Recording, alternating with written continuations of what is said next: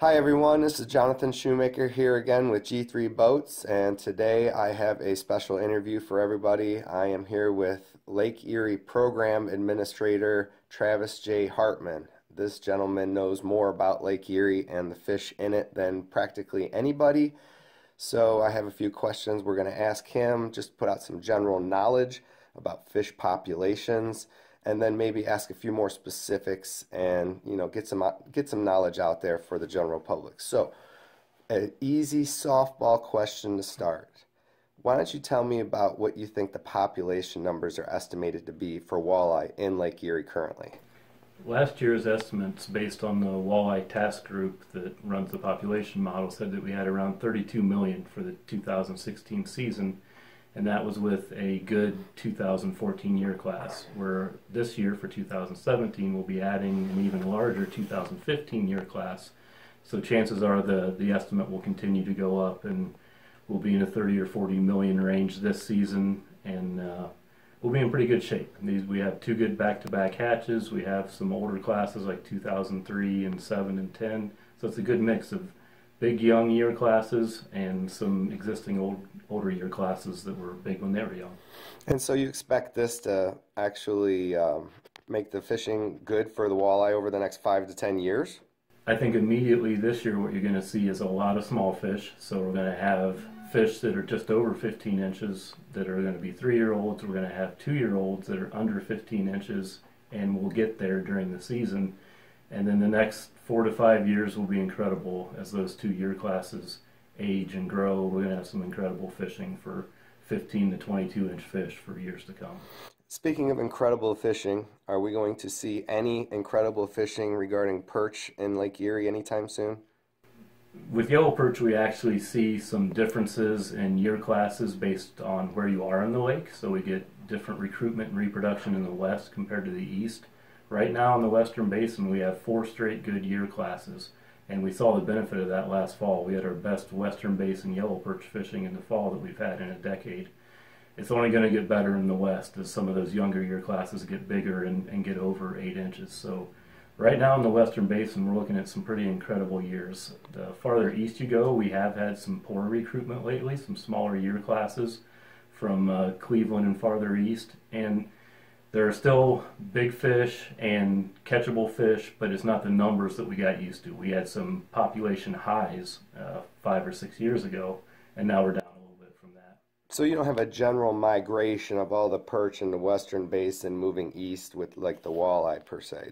No, we, we model perch and walleye differently because from what we've seen, walleye do use the whole lake and, and even leave the system at times. So there's a lot of migration with walleye we estimate a lake-wide population because the population functions lake-wide. Where with yellow perch, although we do see movement, it's much smaller movements and they tend to stay within basins. So we estimate each basin's population separately.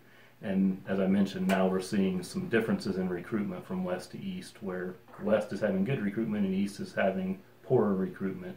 And that's almost the reverse of what we saw the previous six or eight years where there were better year classes in the East than there, than there was in the West. And over the last couple of years, there's been a lot of talk about algae and how it's affecting the fishing. I see um, it seems to be slowing down some of the recreational boating and jet skiing when it gets really bad out on the lake. And people want to know does, does the algae affect the walleye populations or the fishing? The, the good news is we've yet to find a direct link between either recruitment or uh, fish growth or health relative to the algae bloom.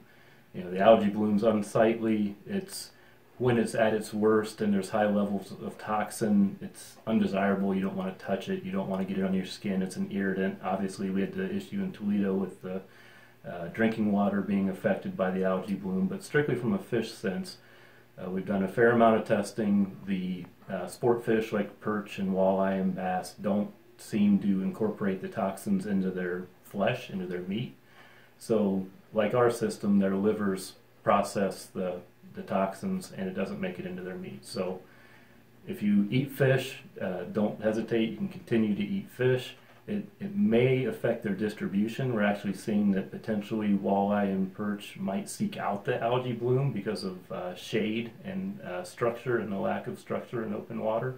But there's not a connection between fish health or fish edibility relative to the algae bloom. And lastly, the Ohio Division of Wildlife has been working for the last five, six years on a tele- telemetry study regarding walleye. And lately, they've been expanding their um, their ability to locate the walleye throughout the lake and the United States water. Could you explain some more about that? The, the telemetry project's really neat, and it is it is a long-term project in the sense that we're putting acoustic tags that work on a sonar technology, somewhat like your uh, fish finder, but the the tags that we put in the walleye send out an acoustic signal, and we have receivers all over the lake that they're stationary, they're anchored to the bottom, and when a fish swims within one to two kilometers of the receiver, if the fish has a tag in it, the receiver documents that location and date of that tag.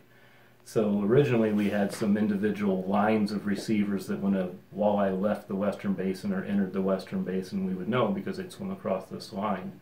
Recent seasons we've gone to more of a grid pattern, so as we get years of these data piled on top of each other, we have more specific information about how conditions impact walleye movement.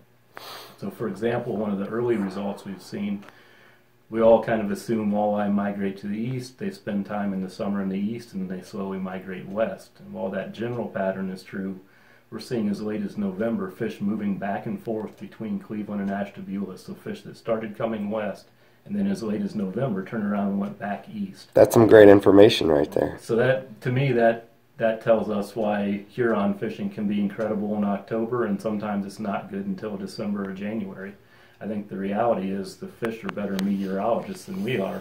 When when winter's fast approaching, they're making their way back west, and we catch them at Huron. When it's maybe November, but winter's nowhere near yet, they're still pretty far east. And if they have the smelt and the temperatures they need east of Cleveland, they stay down there. That, folks, was some awesome information from Lake Erie Program Administrator Travis Hartman. Thank you very much, sir. Thanks, Jonathan. And I am Jonathan Shoemaker with G3 Boats. Thank you.